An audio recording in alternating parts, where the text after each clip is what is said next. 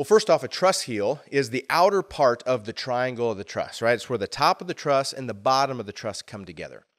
And so that's important. How that's built and actually how tall that is is important for two reasons. The height of that truss heel, all the way out at the at the side, is what determines how much surface area is going to connect between that truss and the sidewall column. The more surface area you have, so for us, we have a 12 inch heel, that amount of surface area uh, connecting with your sidewall column gives you more space to attach uh, those two components together. And so there's a lot of structural integrity in that, different than maybe an eight or a six inch truss heel when you have trusses four foot on center. The second big deal about a deep truss heel is it allows the insulation that's going in your attic to make it all the way out to the sidewalls and be very as deep as you need it to for your energy efficiency. And so if that's not as deep as you want it to be, you're not going to be as energy efficient.